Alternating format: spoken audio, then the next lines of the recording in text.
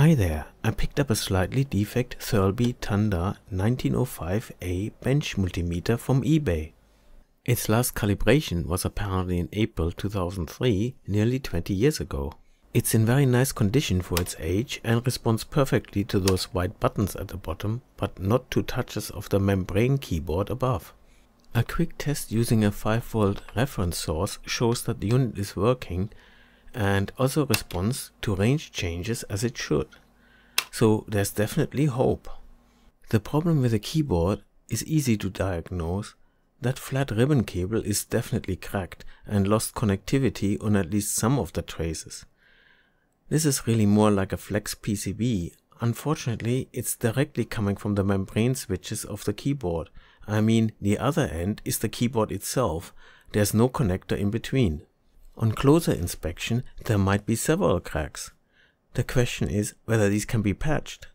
I saw some suggestions to use conductive paint and try getting that to seep into the cracks to reconnect the traces, but since that portion of the cable is bending when the cable is connected, I don't think such a repair would be lasting, if it worked at all. I opened the connector and the cable definitely looks in very bad shape higher up. Hard to tell further down, but hopefully that is still okay. With a heavy heart, I decided to cut the cable and try fitting a new connector on the rest. The cable has two distinct layers, one with 8 traces and a large crack through at least 5 of them, and another layer with 3 traces. That makes sense because according to the manual the keyboard is a 3x8 matrix. The connector punches through the cable with these metallic teeth to make contact. I noticed that the cable expands into wider pads where it goes into the connector. A new connector will of course have no wide pads to bite into, just the traces themselves. I used part of the cut-off cable for some experiments. I did not manage to expose the traces chemically or mechanically enough to make contact and the material can't be soldered, it melts immediately. Some extensive searching on the web revealed the exact type of connector except the new ones have 12 instead of 11 connections. That should not be a problem since the mating socket is just a row of pin headers. After trimming the cable to hopefully just intact traces, I fitted the new connector and aligned it with the traces. It turns out the connector is really hard to close to bite through the material. I used pliers, but even that was not easy and I accidentally broke the little catch that keeps the connector closed. Since the cable is now too short to reach the board, I put some extensions in to get to the pin headers. And of course it doesn't work at all. Actually, even though the plastic top part does not really stay closed anymore, the part that does the connecting looks fine.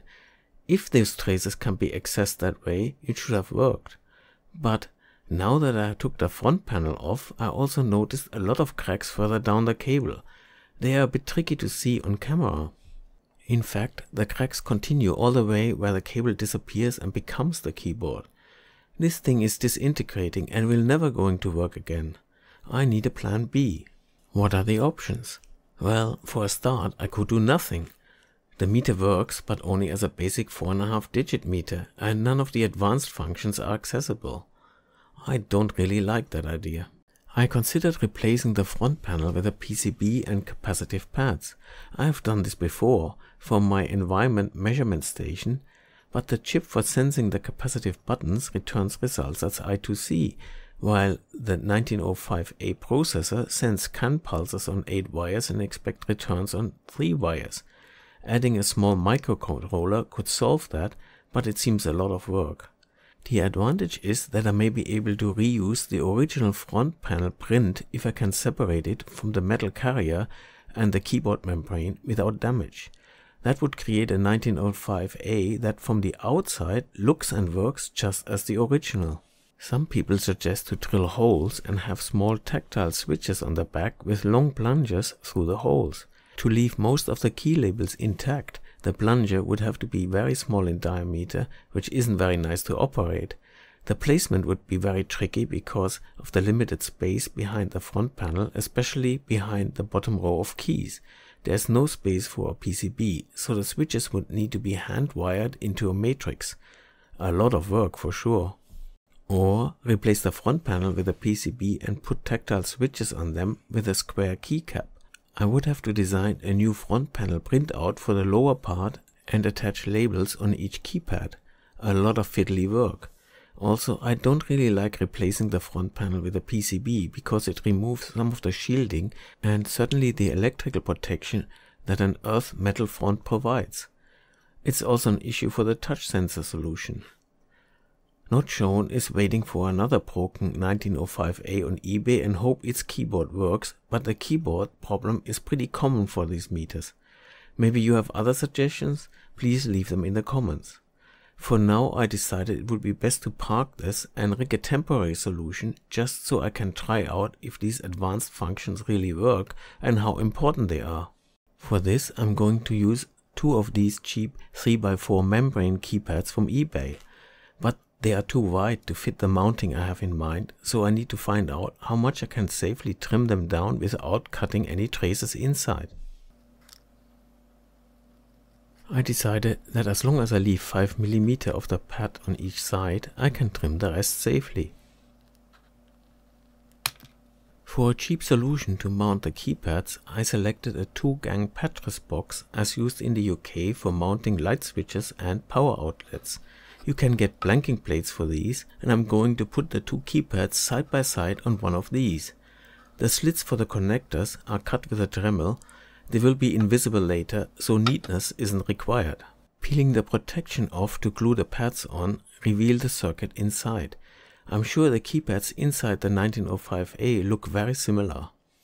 The pads are glued on top and the cables accessible from underneath. To make this as cheap as possible, I use a lot of leftover stuff. These are the parts I selected.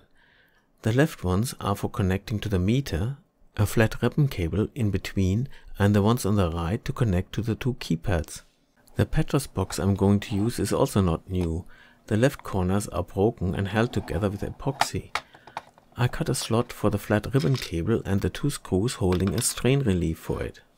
To get inside the meter, I replaced the blanking plate for the remote control interface that this model doesn't have with a plate of the same shape cut from ABS. That new plate has a slot for the flat ribbon cable and a strain relief. After an hour of soldering, I have my two boards.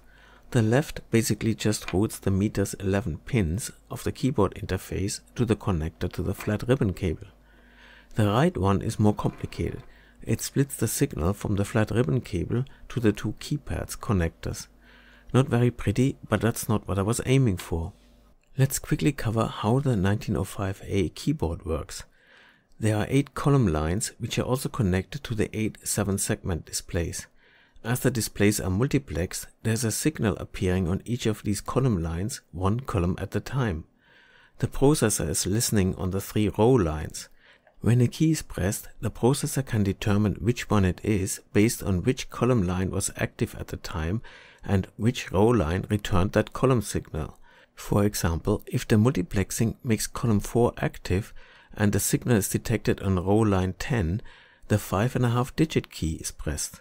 Sadly, the manual doesn't provide the assignment of key names to row and columns. I had to use trial and error to establish this schematic. Of note, the processor can obviously detect four additional key positions that are not used. I tested these and they only produce an error message, no secret undocumented functions unfortunately. The temporary keypad simply plugs into the connector for the non-working keyboard. The ribbon cable exits the meter at the rear and ends in the adapter for the two keypads. Time for a first test. Pressing the 2 on the left keypad should be detected as the 5.5 digit button. And success! The meter switches to 5.5 digits. With this established, I can hide that contraption in the pattress box. I know I'm getting fancy now, but I couldn't resist to make a front sheet for my replacement keypad. The black keys are those four unassigned positions in the matrix putting double-sided tape around the sides of the keypads to hold my front cover. This is how it looks now. Everything works as it should. I can switch to 5.5 digit mode. And also the secret trick of switching it to 6.5 digit mode works just as with the real keyboard. This gives me a chance to explore the meter and see if it's worth spending more time on it. but this is for part 2 of the video, so stay tuned for an update. If you like my videos, don't forget to subscribe. And it would be great if you could decide becoming a Patreon, that would really help this channel. The link is in the description.